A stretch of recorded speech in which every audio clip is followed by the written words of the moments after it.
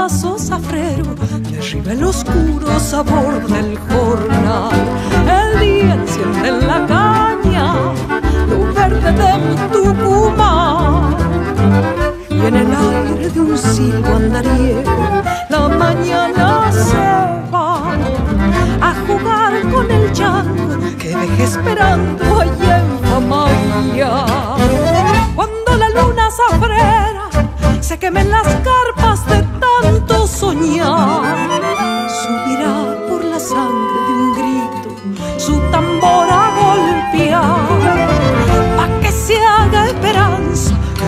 el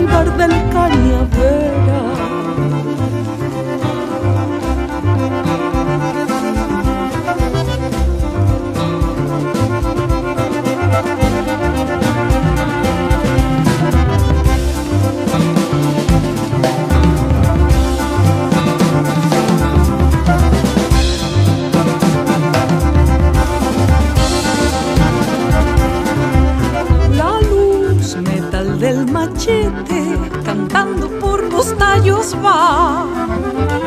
Y en el zurdo crujido del carro agoniza un zorzal cuando suelta el camino su lengua sedienta por el arena.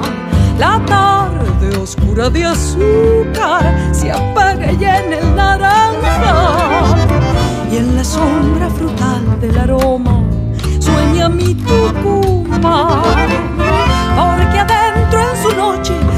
zafra de samba me pongo a cantar. Cuando la luna zafrera se queme en las carpas de tanto soñar, subirá por la sangre de un grito su tambor a golpear, pa' que se haga esperanza el amargo almíbar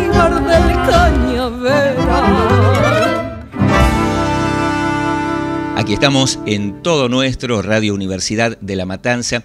Y a partir de este momento se nos abre una hora de música y palabras porque vamos a estar escuchando música, bien, yo diría que con una multitud de intérpretes, pero teniendo en cuenta las posibilidades técnicas han sido designados dos de sus integrantes, porque me estoy refiriendo a la agrupación Don Olimpio, que recientemente ha sido reconocida su labor musical a propósito de la Cámara Argentina de Productores de Fonogramas y Videogramas.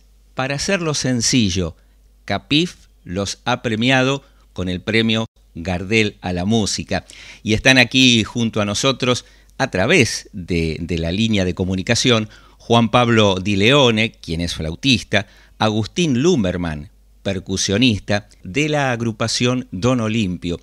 Muy bienvenidos, gracias por compartir este tiempo de, de, sus mañanas con nuestro programa. ¿Cómo les va? ¿Qué tal Agustín? Buenas, ¿cómo va eso? Acá muy contento de poder compartir un poco. Bienvenido Pablo, ¿cómo van las cosas? Hola Jorge, bueno, buen día eh, y buen día a todos, todos les oyentes, este, bueno, de la Radio Universidad, acá contentos de, de, charlar. Y en principio, bueno, comencemos, vieron como en las películas antiguas que se plantea el final y luego se empieza a explicar, ¿qué sienten ustedes a propósito de tener este Gardel eh, así tan cerquita en el tiempo como reconocimiento de su trabajo? En principio lo, creo que lo sentimos como, es una alegría al, al, al, al, reconocimiento, o sea, se siente como una alegría, alegría el reconocimiento al trabajo. Bien. Este, yo lo vivo de esa manera. Un, es un trabajo hecho con mucha honestidad, con mucho cariño y, y, hay muchos colegas que votan, periodistas y que bueno, que nos, que nos tengan en cuenta y nos, nos pongan en valor para, para esta categoría, me parece se vive como una alegría desde ese lugar, por lo menos en, en, mi, en mi sentir. Y en tu recorrido musical, Juan Pablo, ¿cómo, cómo se vive esta experiencia? Bueno, eh, nada, por supuesto, comparto lo que, lo que dice Agus de, de mucho agradecimiento. Está bueno aclarar que, que, el sistema de los Gardel tiene, tiene una muy buena dosis de democracia, ya que el, el premio lo da CAPIF, uh -huh. ¿no? la Cámara de los Productores de Discos, que por supuesto supongo que muchos de ellos tienen, tienen votos, pero creo que algo parecido funciona en los Oscars. Cada, cada vez que eh, cada uno de los ganadores eh, de los años anteriores, desde que, desde que se hace el premio, tiene voto. Por lo tanto, sabemos este, fehacientemente por, por varios amigos, colegas, que nos han dicho, qué bueno que están ustedes, bueno, yo los voté y, que, que se alegraron mucho, o sea que no, no, lo puedo saber a ciencia cierta, pero sé que muchos de los votos provienen de, colegas músicos, entonces también... Ese que gratificante. Es un, reconocimiento extra porque sabemos que eh, siendo un grupo independiente no tenemos el empuje de, nada más que de nosotros mismos. Siento muchísima felicidad también hay que tomar los premios este, como un aliciente, pero que no, no depende nuestra vida de ellos, por supuesto. Si no lo tuviéramos, deberíamos seguir haciendo música como venimos hasta ahora. Tal cual, no es un eh, punto de llegada, sino un saludito en el transcurso del camino, ¿no? Totalmente, una, como una palmadita en la espalda, un mimito, sobre todo si pensamos en los colegas que nos votaron. Yo también siento que este grupo eh, es un grupo suertudo, pero que se merece su suerte porque, este, digamos que hicimos en, poco tiempo, logramos cosas que generalmente a cualquier grupo que conocemos le llevan bastantes más años. Tuvimos la suerte de, grabar muy pronto, así, ya que, ya que pedías que volviéramos para atrás. es, lindo contar que este grupo fue como para Agus, para mí, que somos los músicos convocados fue un placer desde el principio. Este, y que la verdad que Andy nos tenía preparados, digamos, de sorpresa. Nosotros no lo sabíamos, que, tenía. Nos esperaba con la música ya bastante madura desde, el, desde el primer ensayo. este, ya nos esperaba con, con, arreglos, varios arreglos terminados. Que nos, yo no lo sabía, por lo menos, pero que él antes de convocarnos, ya había probado, había fogueado un poco los arreglos y después, después de hacer esos arreglos para su cátedra de ensamble de la Universidad de San Martín y de, del Conservatorio Falla, este, después de haber probado esos arreglos, él empezó a pensar en armar un grupo, luego nos convocó, con lo cual en el primer ensayo puso cinco partituras delante nuestro que más o menos salieron a la cancha rápidamente y a los dos meses de empezar a ensayar tocamos en vivo. Este, y ya el primer show realmente estuvo increíble. Digamos que hay que disfrutarlo mucho porque Agus también lo debe saber. Eh, la música es un laburo de largo plazo, entonces que las cosas pasen tan rápido en un grupo mm, medianamente grande no es lo habitual. Bien, y en este caso eh, incluso comenzaría por el nombre, Agustín. ¿Por qué Don Olimpio? Don Olimpio, Olimpio es el nombre del, abuelo de Andy. Barajamos un montón de nombres. El momento de elegir nombres siempre es un momento muy, muy divertido, que, cuesta un montón a la vez. Olimpio, nos gustó, nos gustó cómo sonaba, y, también Olimpio es el, el, nombre del abuelo de Andy, que al abuelo de Andy había tenido una experiencia frustrante con la música, por así decirlo, se había encontrado con una maestra que le había dicho que, no estaba apto para eso. Este, entonces, la, idea de, rescatar a ese nombre, a esa persona, a esa historia, es un poco decir que el folclore, los folclores populares son, son para todos. O sea, no, no, no, hay, no hay nada que te, que te pueda dejar afuera de eso. La, la, búsqueda es un poco eso, acercar y, poner que no es de los músicos solamente la música, la música es de todos y todos podemos generarla, vivirla a nuestra manera, bailarla, cantarla, lo, que, lo que se quiera. Esa es un poco la idea del nombre en particular. Permítanme eh, comentarles a los amigos que están escuchando el programa y que eventualmente se hayan incorporado ahora que toda vez que ustedes dicen Andy, se están refiriendo a Andrés Pilar, ¿verdad? Que a la vez de ser quien toca el piano, es eh, el arreglador y el director y a la vez, por lo que ustedes están diciendo, el fundador de esta agrupación. Sí, Andy nos convocó a cada uno en particular y, con, algunos yo no los conocía previamente, los conocía de nombre, pero no de haber, por ejemplo, con Juanpi yo no había compartido ningún, ninguna experiencia musical hasta ese momento, hasta ese día que llegamos a ese ensayo que contaba, pusimos la parte y, vimos lo que pasaba y yo sinceramente quedé muy sorprendido con lo que sucedió. Bien no había tenido otra experiencia donde en un primer ensayo la música fluyera de esa manera. Pero bueno, eso tiene que ver con que Andrés Pilar había trabajado mucho previamente. Había una cuestión de piel que con solo verse entendían la frecuencia, ¿no? Sí, por supuesto, es, es, lo que te decía. Funcionamos como si todos hubiéramos sido, digamos, sesionistas con experiencia y como, bueno, nada, creo que obviamente que todos cargábamos con, con toda nuestra historia tocando esta música. Eh, y nada, confluyó de la manera más linda posible. Es como cuando se da la suma de todo, ¿no? Un buen arreglo, bien escrito, ¿no? Eh, creo que uno de los detalles que caracteriza o que me gustaría que, represente al grupo es que si bien es música escrita, debería no parecer que está escrita, ¿no? Trataríamos de, incluso hace mm, ya más de un año que estamos haciendo la experiencia de abandonar las partituras y los atriles y aprendernos de memoria lo que escribió Andy, lo que no, no es nada fácil este, a, nosotros que venimos de, ámbitos donde, nada, yo estoy acostumbrado a cualquiera de los dos procesos, a poder leer de partitura o a aprenderme de memoria también algo que me gusta, pero si hay algo que es difícil o un gran desafío es empezar leyendo algo y luego abandonar la partitura para memorizarlo. Para hacerlo carne. Exactamente. Entonces como que ya la música sonaba muy bien, ya eh, aunque yo tenga la partitura, traté siempre de conectarme con mis compañeros y creo que los demás también, o sea que no queremos sonar, digamos, a veces se tiene como un cliché también que la música escrita puede ser como más dura,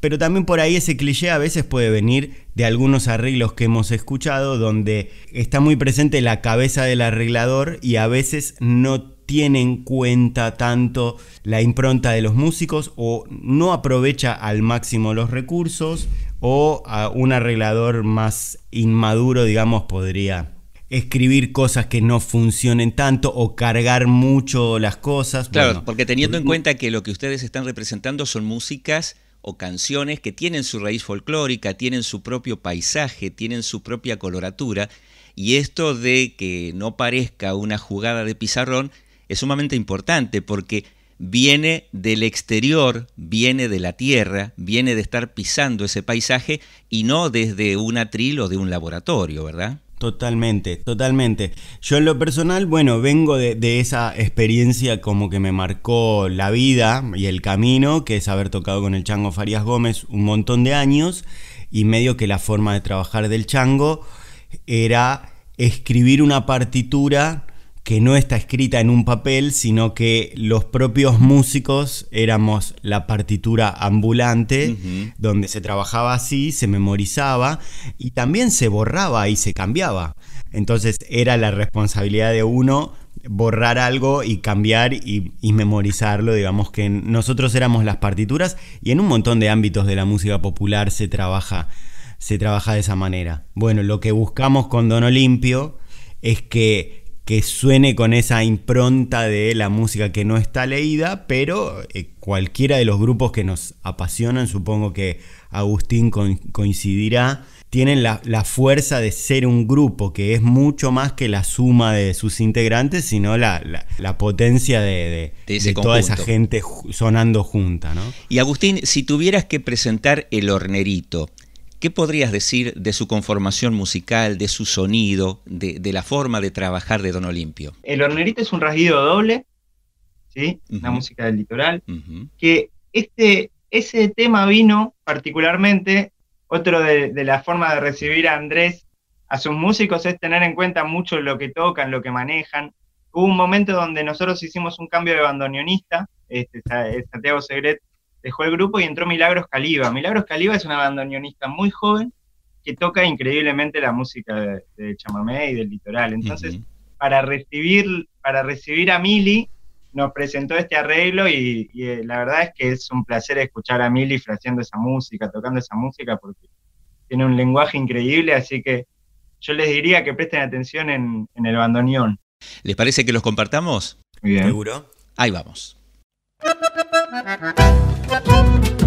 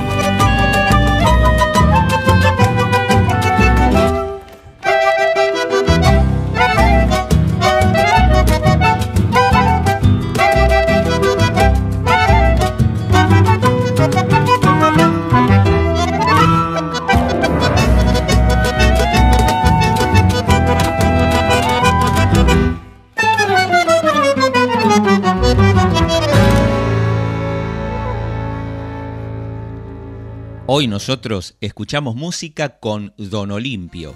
Al principio, La Zafrera de Armando Tejada Gómez y Oscar Matus. Y recién El Hornerito de Julio Luján y Pirca Rojas.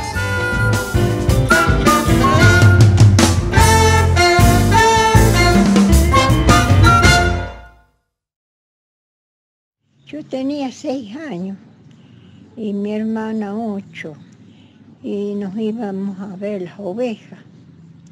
Resulta que yo había visto unas vacas, yo les tenía miedo. Me dirigió por otro lado y ahí es donde se nos perdió. Después venía una nube a tapa el y ya me perdí, ya se me perdió.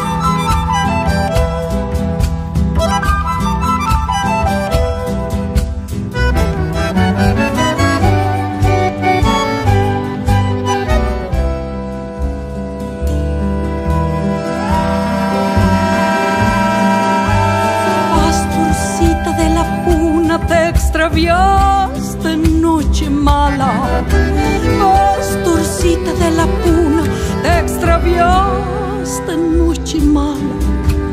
Mi voz se queda en el viento y en la puna te reclama. Mi voz se queda en el viento y en la puna te reclama.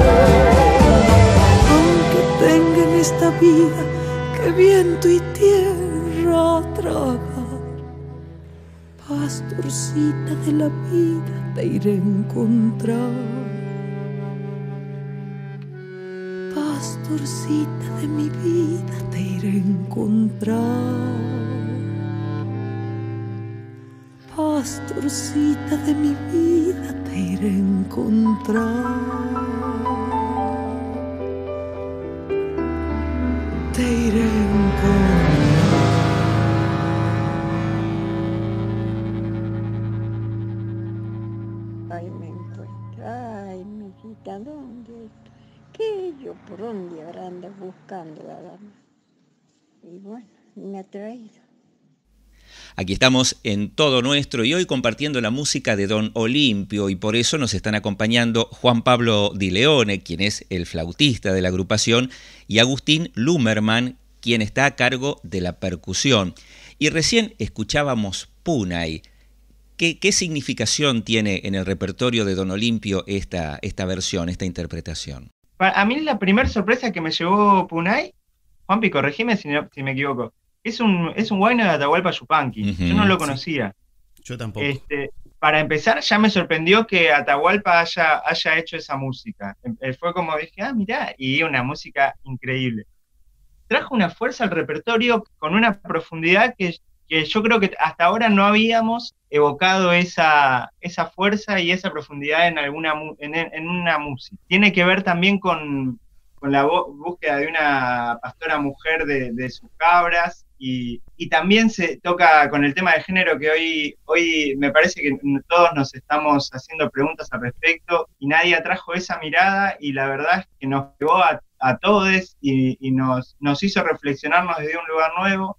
Así que la verdad es que es un tema que tiene una densidad increíble. Y ese relato que tiene que ver con la infancia y el trabajo, ¿no es cierto? Esa, esa explicación de ir a buscar las cabritas, estar en el campo y que de pronto para quienes estamos en ciudad es una realidad que nos pasa inadvertida. nos pasa inadvertida. Y es, es, es lindo saber que el, el, el audio con el que empieza es un audio que es de la abuela de Nadia, Ajá. contando su experiencia. Yo creo que puntualmente a Nadia la, la tocó en un, en un, punto clave y eso también se escucha, sinceramente se escucha en su interpretación y en, en el lugar hacia donde a todos nos lleva para acompañar ese decir. En definitiva, podríamos decir que Don Olimpio no es un resultado de, de un estudio de grabación, sino de, de, palpitar alma, sangre, carne, huesos, espíritu. Para mí ahí pasa lo más interesante de Don Olimpio y de la música, que es como que la música folclórica no, es solo el papel, sino es, son las vivencias llevadas a, cabo, o sea, es un vivir, es un sentir, y ese, esa dinámica es lo que después se representa en la música. Yo creo que los integrantes de Don Olimpio tenemos muy claro eso y lo hacemos de esa manera, y eso también se escucha. Este, y, eso es el folclore. El folclore más amplio que las danzas argentinas, el folclore, es, es, tiene, tiene que ver con eso, con poder hacer de las vivencias eh, hechos artísticos. Magnífico. Juan Pablo, y el tema del baile, ya que está mencionado más allá de las danzas, recién decía Agustín lo que se representa como folclore, el hecho de que en las intervenciones, en las actuaciones de Don Olimpio, de pronto el público se ponga a bailar, ¿es un efecto buscado de, de la agrupación musical? ¿Es un efecto que se fue dando y lo sorprendió a ustedes? ¿La danza está presente en el repertorio de Don Olimpio? Y yo creo que la, la, el danzar est está presente en la expresión popular que engloba el folclore, que engloba el canto, el baile, el, el repertorio y un, y un montón de, de, cosas que hace una comunidad con la música, ¿no? Uh -huh no, no vamos a negar, Don Olimpio ha tocado mucho en pequeños auditorios en los cuales es difícil levantarse dudas, a bailar y correr cual. todas las mesas. Hemos tocado mucho en, en, Café Vinilo, un lugar que queremos mucho, y ese es un, es un contexto de un lugar para ir a escuchar música. Igual nos da unas ganas a veces de que corran las mesas. En otros ámbitos eh, se dio naturalmente, donde había lugar para bailar, donde, cuando hemos ido a tocar a, a, diferentes lugares en La Plata, más grandes, hemos tocado en, en alguna que otra peña, hasta hemos tenido una experiencia el, el verano anterior tocando en un festival de folclore, uh -huh. cosa que nos, nos preocupaba, obviamente, porque no, no sabíamos cómo iba a responder la gente a, a la propuesta. Y nada, nos convence que, que ninguna de estas músicas es solamente para escuchar, aunque podría haber estado concebido como un arreglo desde lo musical. Eh, es música popular y si es una chacarera y te da ganas de bailar o es una samba y te da ganas de bailar, para los músicos es misión cumplida, tal digamos. Cual, tal cual. Y en el caso, tocando le doy ganas de bailar a alguien. En el caso lo mencionaba porque muchas veces el músico se siente tentado a generar arreglos o a jugar con la instrumentación y se sale de la cuadratura o de la métrica que puede llegar a tener, ya que lo mencionaste, una chacarera, un gato, un escondido, que uno tiene que ser muy puntual en el modo de interpretación precisamente para no, para no sorprender ingratamente a los bailarines, porque empezaste a tocar algo que los bailarines no saben cómo seguir. Eh, entonces, no apunta por ese lado, eh, don Olimpio, son fieles a lo que tiene que ver con la estructura preconcebida de las canciones que son bailables. No sé, no sé si del todo. ¿eh? Yo también vengo, vengo de una escuela, digamos, hace poco se nos fue también Manolo Juárez. Tal cual. Y recuerdo, recuerdo algunas charlas con él. Él era bastante, bastante polémico en muchas de sus declaraciones y bastante combativo, lo cual es maravilloso. Conservaba la rebeldía de un adolescente. Este, y bueno, él decía que un poco las, formas y las coreografías le habían hecho un poco, un poco daño al folclore y estaría bueno recordar que antes de fijarse una coreografía para un gato o una chacarera, esto no era coreografiado ni medido y era como algo más espontáneo, como aún lo sigue siendo la samba, donde no hay una guía de... O las de agarre, o las danzas de agarre, ¿no? Y entonces, así como me acuerdo de Manolo, me sigo acordando del chango que decía, cuando salió Piazzola, todos los tangueros decían que no se podía bailar. Y yo ahora pregunto, ¿Piazzola lo bailan en todos los salones de tango de Argentina y del mundo? Sí. Entonces, ¿Piazzola se puede bailar? Sí. Bueno, entonces toda la música buena se puede bailar. Igual creo que tenemos más de una chacarera así con la forma estricta y no, no me molesta eh, respetar la forma de una samba o de una chacarera, pero si Andrés, que es el arreglador, quisiera meterle una parte extra o no creo que le afecte a la gente que le gusta el grupo para, animarse a bailar. Magnífico. Y Agustín, eh, lo estoy teniendo a Agustín Lumerman como presentador de los temas, y en este caso, Mi Fortuna, ¿qué podés decir? Mi Fortuna es una Vidal anónima. Ahí también, lo que, lo que sucedió con Mi Fortuna me parece que es como donde nos dimos la mayor libertad tímbrica del, disco, para decirlo de alguna manera, y nos fuimos lo máximo posible de lo que se espera de un grupo de folclore. Creo que es como el, el arreglo más arriesgado en algún aspecto, incluso se le puso algunos efectos al piano, a la guitarra, que eso hasta ahora no había aparecido ni siquiera en el disco. Entonces es una versión muy libre de una, de una Vidal anónima. Así que, bueno, escuchen porque se pone, se pone lindo para mí. Me gusta lo que pasa. ¿La compartimos? Por favor. Ahí va.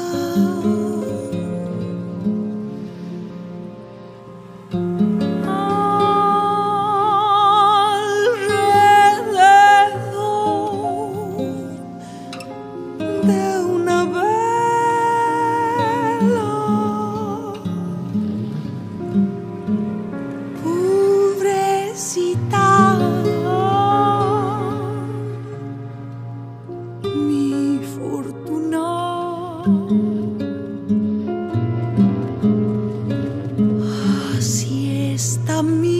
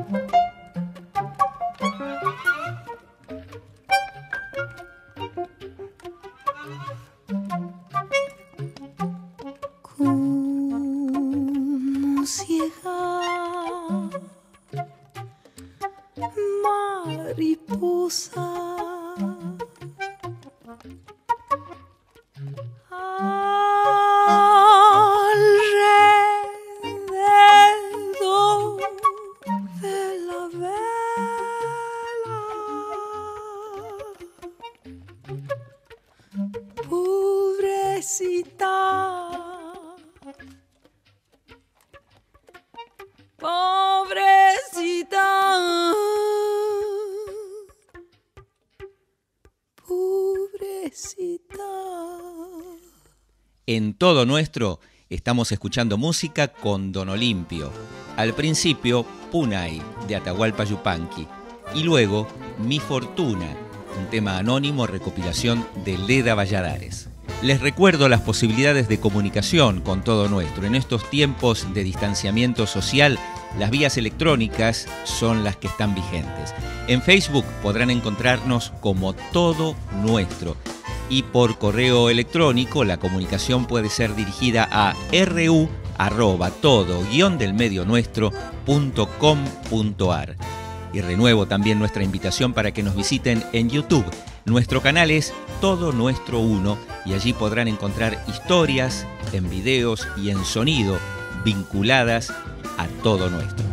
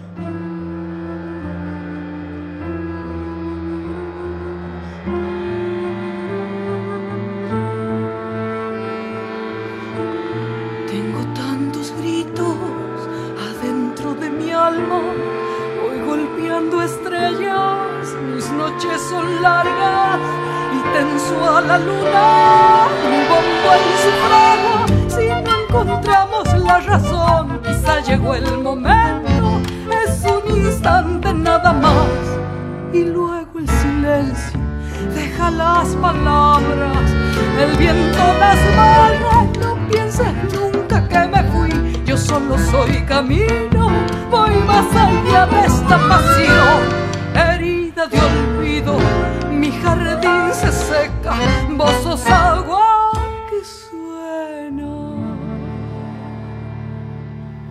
Aquí estamos en todo nuestro y ya hemos llegado al tercer bloque junto a la música de Don Olimpio. Y hoy nosotros charlando con Juan Pablo Di Leone, flautista de la agrupación, y en la percusión Agustín Lumerman, que nos está acompañando. Pero gente, no solamente ustedes dos forman parte de esta agrupación, podemos pasar una especie de lista de instrumentos e intérpretes. Por claro, lo hacemos de izquierda a derecha como se ve en el escenario. Ah, bien. Andrés Pilar en el piano y dirección, Milagros Caliba en bandoneón, eh, Juan Pidileone, uh flauta, Federico Randazo en clarinete. Adelante están Nadia Larcher en voz, al lado Juan Manuel Colombo en guitarra, atrás de Juancito se pone Diego con el contra, Diego Americe con trabajo, y por último estoy yo eh, en la percusión, Agustín Bien, pensé que iban a decir quienes están de pie tales y quienes están agachados tal otro. Ah, casi, casi, casi, casi, Con los botines, claro. Con los botines embarrados. A propósito, eh, eh, estuvimos haciendo mención de quienes integran la agrupación. Imaginemos que dentro de quienes están escuchando el programa hay interés por acercarse a Don Olimpio y tener mayor información. ¿Qué vías, qué caminitos tienen que recorrer para lograr ese objetivo? A ver, bueno, sí, cuente a vos, que tenemos ah, ahí redes. Eso, es bastante fácil. Este, en Facebook estamos como Don Olimpio. En Instagram estamos como Don Olimpio también. Y después está la web del grupo donde, donde también aparece toda la información. También, el buscador de Google Don Olimpio y, te lleva a la, a la página. Este, Bien, eh, si querés escuchar los discos gratuitamente, los, se pueden escuchar ambos discos en YouTube. El primero que se llama Dueño No Tengo y el segundo Mi Fortuna. Y también están en las plataformas clásicas de, escucha de música, Spotify y, supongo que las otras también. Así que bueno, el material está accesible para todos. Eh, yo todavía sigo siendo de de la generación que, sigue defendiendo la escucha del disco completo. Incluso desde adentro de estas plataformas soy medio en contra de las playlists y me gusta, eh, soy fundamentalista de tratar de escuchar los discos de los artistas que me gustan enteros. Y es lo que un, consejo de el, más viejito del grupo a la gente joven que haga, que haga el, intento de salir de, de las playlists y meterse a escuchar discos enteros de los artistas, saber que, en qué año fueron grabados esos discos. Siempre me, desde chico me, me interesó eso y me parece que eso es lo que te acomoda un poco la historia de la música que estás escuchando y que es lindo conocer cómo se fueron dando esas, esas historias de, los grupos y de los artistas. Recién Juan Pablo te mencionaste o te autodefiniste como el más viejito del grupo.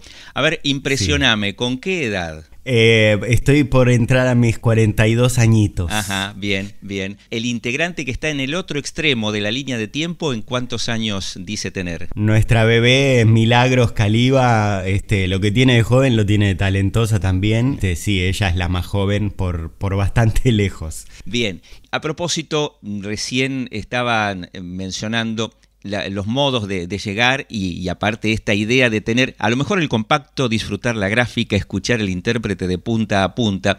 Hay algunos accesos que tienen que ver con los ensayos abiertos. Esta experiencia de Don Olimpio, ¿qué significa un ensayo abierto?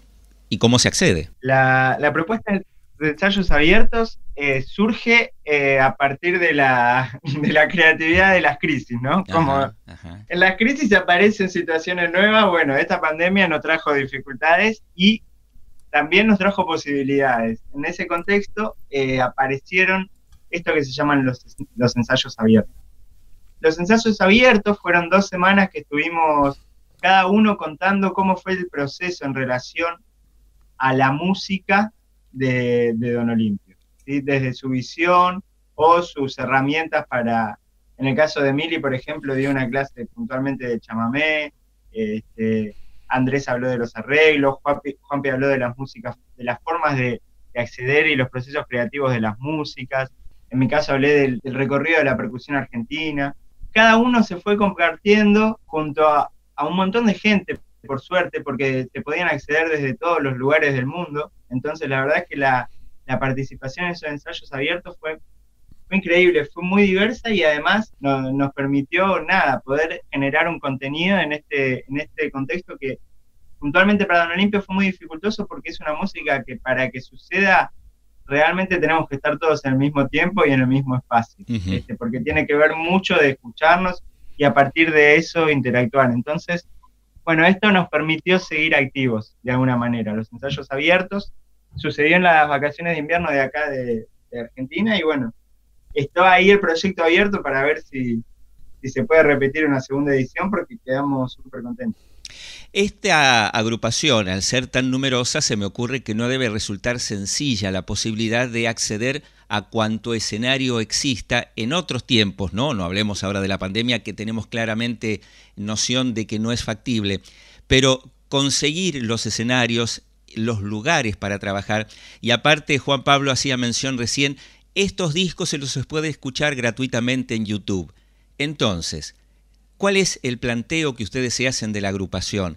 Vivir a, partir de, de las posibilidades económicas que dé esta experiencia cada uno de ustedes tiene una vida y un ingreso propio. ¿Cómo, cómo es este presente? ¿Cómo conjugan esta situación de Don Olimpio con la vida individual de cada uno de ustedes? Bueno, ahí ya nos metemos con el, difícil tema de la, de la sobrevivencia de, los que nos dedicamos este, a actividades artísticas en un mundo que ya sabemos que no, no las premia ni las reconoce como se debería.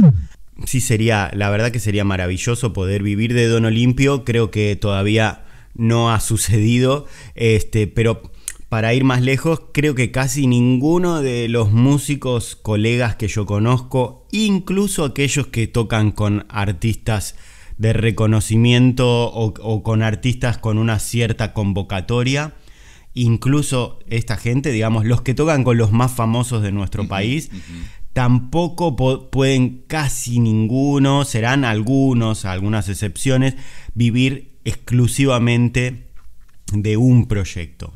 ¿no? Venimos acostumbrados los músicos a, tener, a hacer multitareas. Casi, casi no existen ya los músicos que no den clases, todos damos, creo que todos damos clases en el grupo, yo doy clases y no tengo ningún problema con la docencia, me hace muy feliz desde hace muchos años.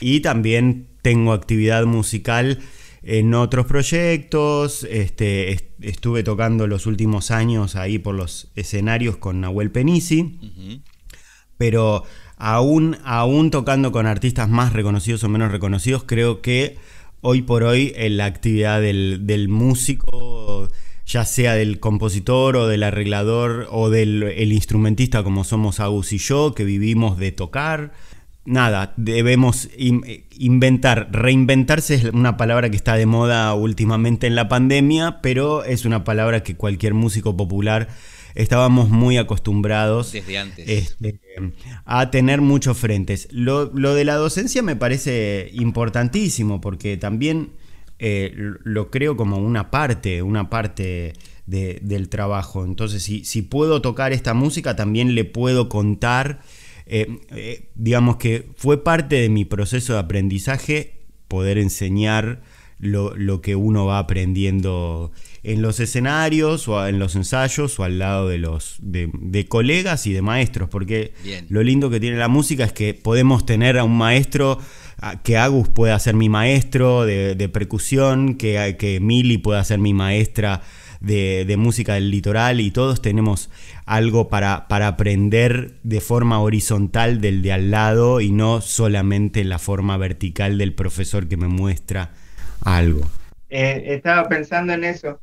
claramente este momento es un momento muy particular. También sucede con esto de, no sabemos, la realidad es que los músicos que quedamos en generaciones donde la vivencia era muy diferente y ahora, ahora es todo nuevo, esto de regalar los discos de alguna manera, ¿no? Mi fortuna está, te, los regalamos para que lo escuche quien quiera. Es, es, es, un, es un montón, la verdad que es un montón, es mucho trabajo que, que lo ponemos al servicio de, de, la comunidad de alguna manera. Y ahí es donde no está, yo puntualmente en lo personal pienso, ¿dónde, dónde nos ubicamos en ese lugar? Claro. No la verdad es que no lo tengo claro, eh, porque, bueno, y, y, lo que trajo también esta pandemia es que, bueno, que ya es mucho más común que haya material nuestro dando vueltas de manera gratuita. Entonces, si uno no comparte ese material, también eh, se pone en una posición complicada, ¿no? Tal cual. Igual, igual me gustaría decir algo. Cuando volvamos, el ritual de la música en vivo no va a desaparecer. Por ahí tarde mucho más de lo que nos imaginara, en lo que nos imaginábamos este, envolver, pero no va a desaparecer.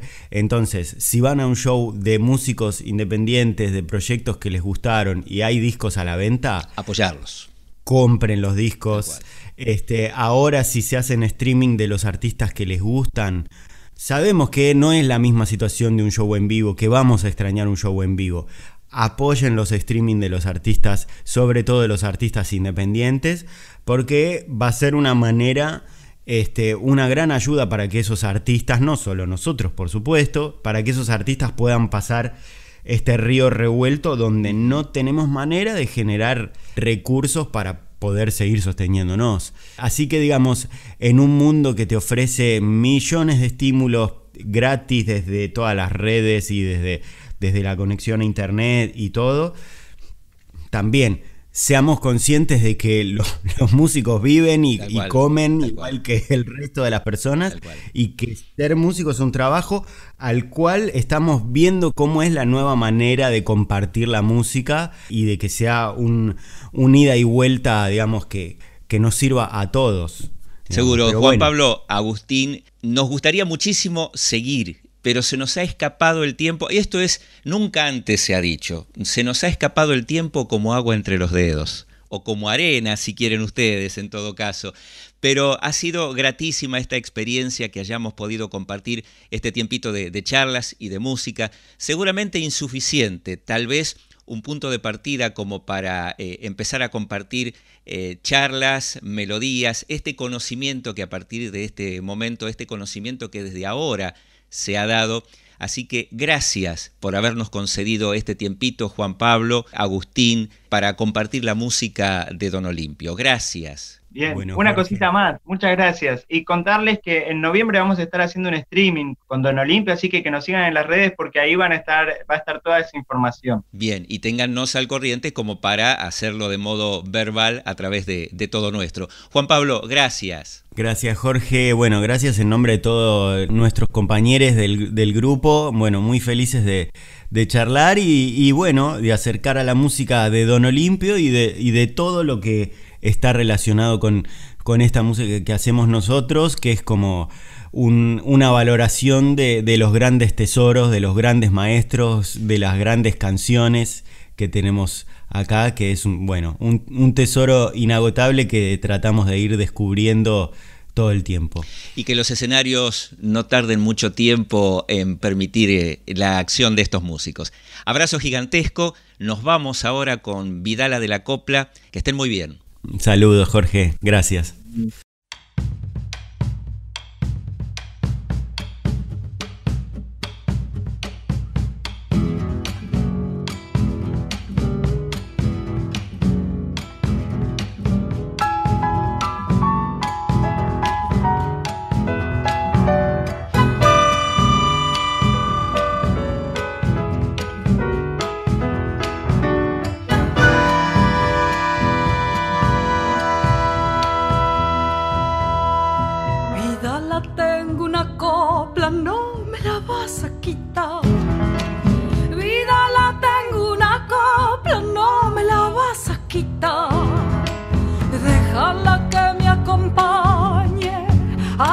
Vida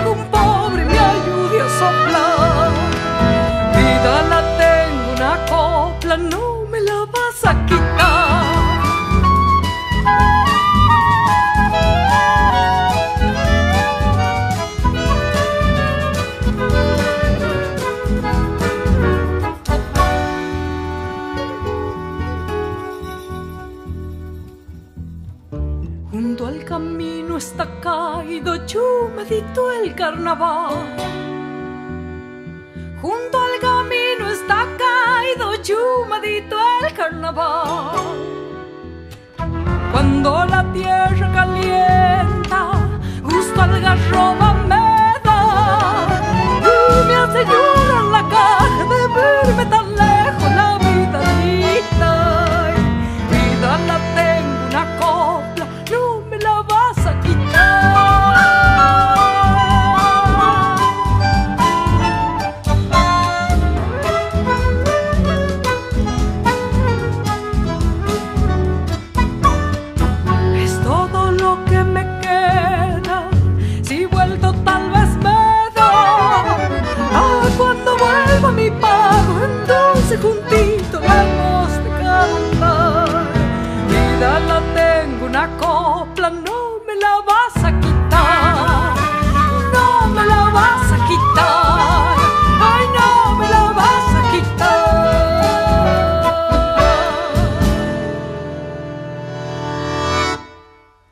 estamos escuchando música con Don Olimpio. Los temas que compartíamos al principio, por seguir, de Raúl Carnota y Carlos Marrodán. Y recién Vidala de la Copla del Chango Rodríguez.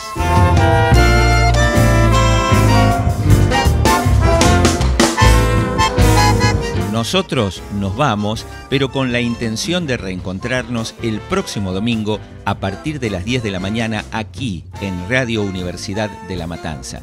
Que de aquí entonces tengan ustedes una excelente semana y ojalá nos volvamos a encontrar. Chau. Hasta entonces.